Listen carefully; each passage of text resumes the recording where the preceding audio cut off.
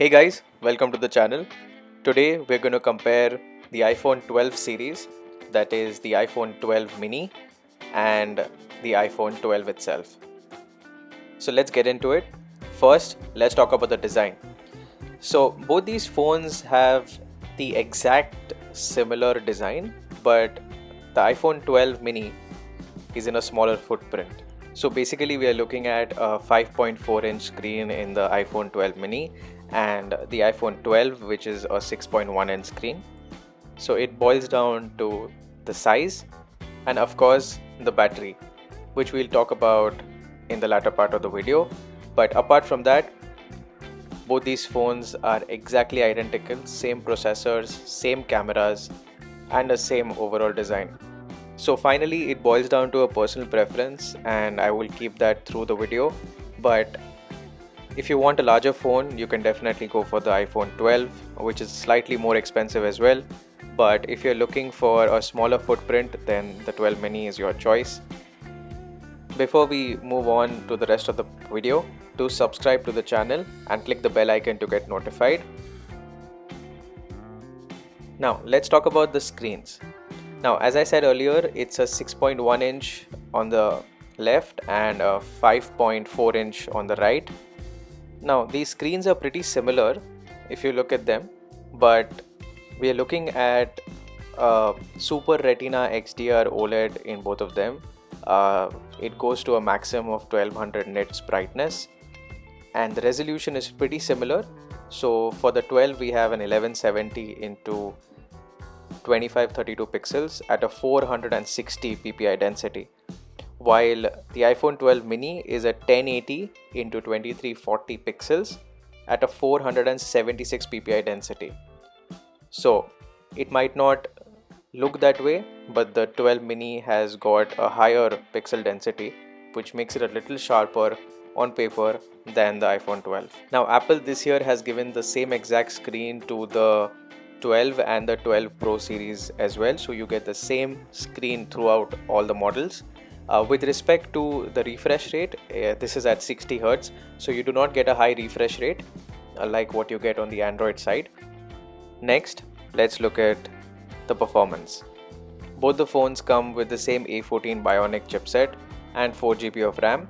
Uh, storage options are from 64GB to 256 so you're going to get the exact same speed with both the phones what is different is the battery life now this is where things start to get a little different as i said earlier in the video we're looking at 2815 mAh battery on the iPhone 12 and 2227 mAh battery on the iPhone 12 mini both support fast charging at 20 watt uh, the Qi wireless charging as well uh, along with MagSafe. But this is where the compromise is. So even if you like a smaller screen, a smaller battery is not preferable. So do make your decision well in this aspect. Now let's look at the cameras. Now for the iPhone 12, we are looking at a dual camera setup with a 12 megapixel wide and a 12 megapixel ultra wide and on the front you have a 12 megapixel wide camera now the only difference between the 12 series and the 12 pro series is the telephoto. Otherwise both the lenses are exactly the same in all the four devices. The iphone 12 mini uh, has the same exact lenses as the 12 so 12 megapixel wide and a 12 megapixel ultra wide with another 12 megapixel on the front which is a wide. So I expect exactly similar results. So I will not be going into depth with the cameras. They're exactly the same. Good quality photographs really crisp. But if you want a telephoto lens or if you're planning to you know zoom into your subjects then this is not the phone for you. Though it can zoom to a 5x but the photos are not that great. You rather take a photo and then crop it. So that's my opinion with the cameras now the last part of the video which are the speakers guys welcome to the channel today we're going to compare the cameras of the OnePlus 8 Pro and the Samsung Hey guys, welcome to the channel. Today we're going to compare the cameras of the OnePlus 8 Pro and the Samsung Galaxy Note 20 Ultra. So let's get into it. Galaxy Note 20 Ultra. So let's get into it. The Samsung Galaxy Note 20 Ultra is a glass and the Samsung Galaxy Note 20 Ultra is a So both the phones are pretty similar. Both have dual speakers, that is a bottom firing and a front firing, and both get pretty loud. So ah, no differences there as well. And with that, we are at the end of the video.